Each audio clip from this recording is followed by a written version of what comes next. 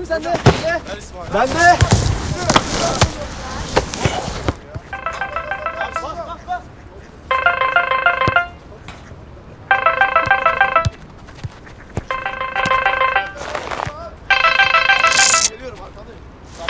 Alo.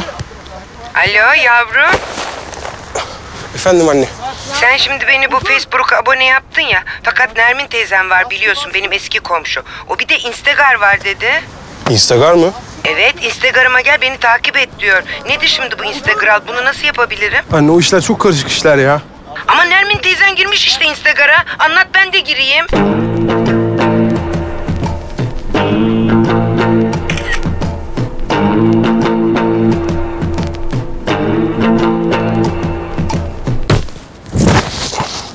Yavrum müsait miydin sen?